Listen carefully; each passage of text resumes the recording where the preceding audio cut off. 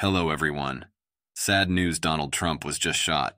Why did the shooter was able to be on a rooftop and the Secret Service did not cover that rooftop? We need answers. May God bless Donald Trump and the victims. That got shot. This is from Donald Trump's account, at real Donald Trump, and I'm going to go ahead and read it to you by way of Trump's campaign, who sends it this way and says the following.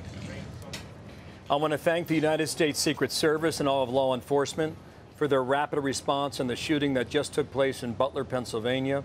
Most importantly, I want to extend my condolences to the family of the person at the rally who was killed and also to the family of another person that was badly injured. It is incredible that such an act can take place in our country. Nothing is known at this time about the shooter, who is now dead. I was shot with a bullet that pierced the upper part of my right ear. I knew immediately that something was wrong and that I heard a whizzing sound, shots, and immediately felt the bullet ripping through the skin. Much bleeding took place, so I realized then what was happening. He concludes in all caps, God bless America! Exclamation point. That from Donald Trump at the medical facility now in Pennsylvania.